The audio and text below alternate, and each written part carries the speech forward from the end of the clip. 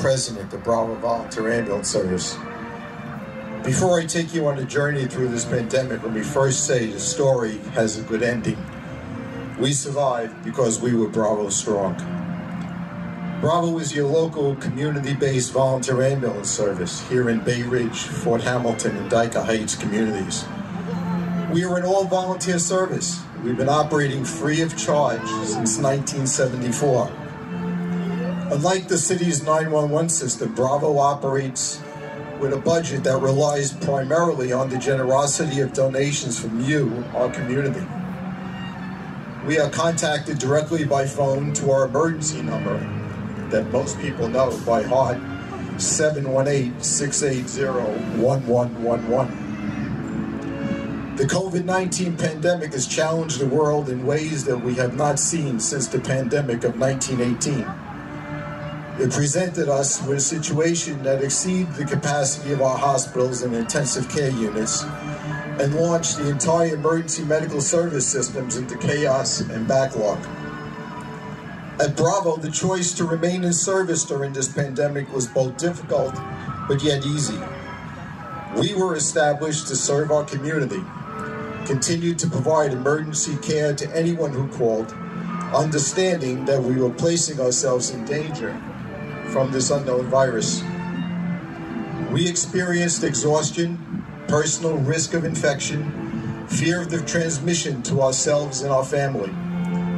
We were faced with illness and death of our friends and colleagues and a loss of more patients than we had ever encountered before. As the New York City EMS 911 system became overwhelmed with the number of calls throughout the entire city, they started turning to the volunteer ambulance services for help and began sending 911 calls directly to Bravo. We began asking our members to start volunteering for as many shifts as possible.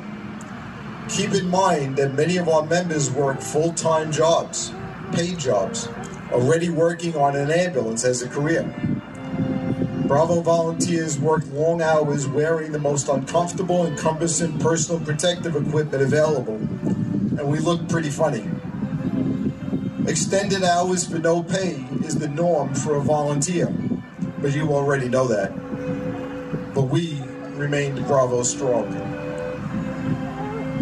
Without any specific rationale for the transmission or even treatment for COVID-19, we were mandated to transport patients by themselves, denying family members to, accom to, accommodate, me, to accompany them. We were the patient advocates, and it was our pledge to do what we could for each and every one of them. We held their hands, we often cried with them through these uncertain times, but we remained Bravo strong. Finally, we hope that we've seen the last of the most severe COVID-19 cases. We know it'll probably never go away completely, but with the overwhelming availability of a safe and effective vaccine, there is hope for the future. What this pandemic has done is shed light on the need for more robust emergency medical service system, both pre-hospital and in-hospital. With help, we can make it happen.